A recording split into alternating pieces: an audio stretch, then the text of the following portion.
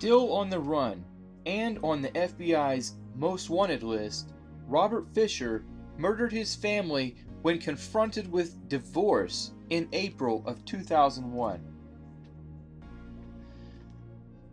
Robert's parents divorced when he was young, and by all accounts, it was an especially difficult event.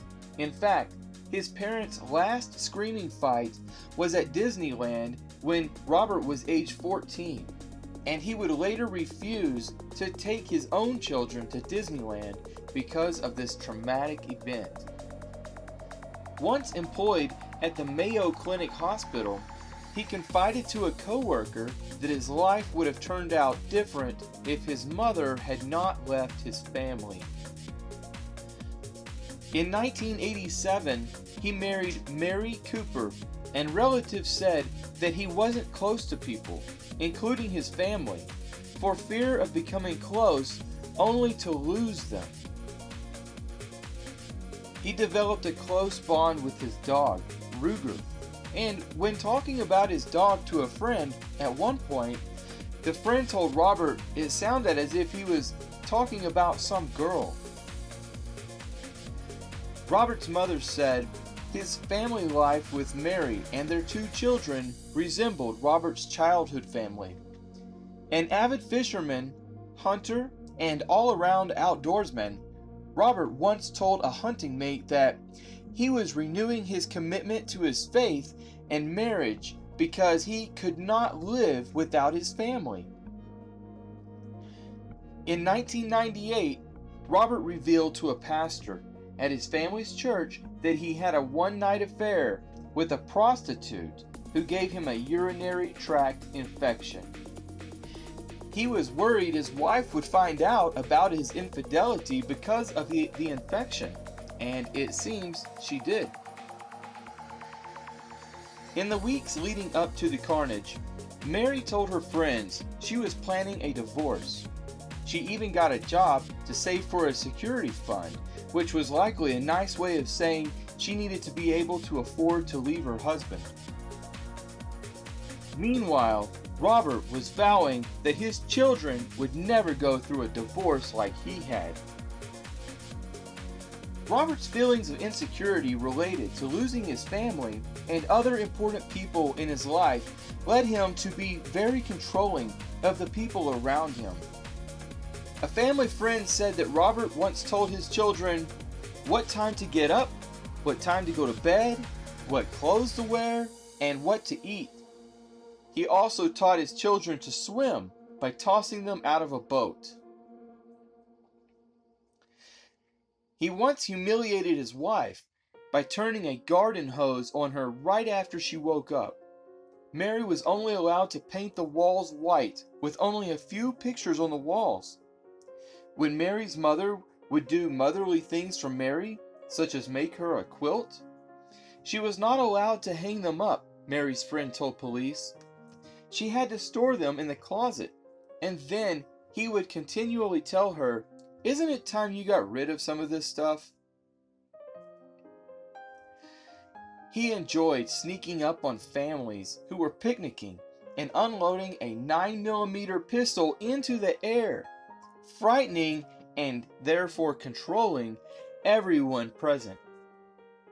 He also once loaded a gun, cocked it, put it to a friend's head, and then uncocked the gun and said, Isn't that cool? But there was nothing cool or light-hearted about the way Robert treated his family and friends, and it was no wonder his wife was ready to leave. However, she would never get the chance. On the evening of April 9th, the couple had a very loud argument around 10:30 p.m. The next morning at approximately 8:42 a.m., Bill Jacoby, who lived 3 doors down from the Fishers, heard what he described as a tremendous explosion. He went on to say, I've heard propane tanks go up before, and that's what this sounded like. My two cats went straight up in the air. During the night or early morning, Robert shot Mary in the back of the head while she slept. He then went to the children's bedroom, Brittany, age 12, and Robert Jr., age 10, and slit their throats from ear to ear while they slept. He tried to cover up the homicides by pulling out the gas line from the back of the home's furnace, and the accumulated gas was eventually ignited by a candle at the other end of the house. Robert then made a fast escape using the family's SUV, which was discovered 10 days later abandoned with a pile of human excrement outside the passenger door. Police have not found Robert Fisher.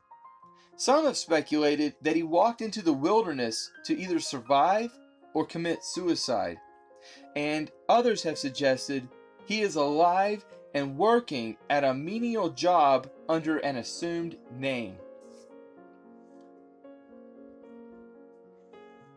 If Robert is alive and living under an assumed name, he would be one of over 200,000 American fugitives who are doing so successfully. The most successful identity changers are those who travel to foreign countries. The self sufficient outdoor types, such as Fisher, most often head for Canada or Central America. Adding to this theory that Robert is living in the wilderness, or at least was at the time of the murders, is the fact that he did not withdraw any money from the family bank account, and police have found no other sources of income he might have utilized. Also, the night before the murders, he purchased a water purifier which would provide him with fresh drinking water in the woods.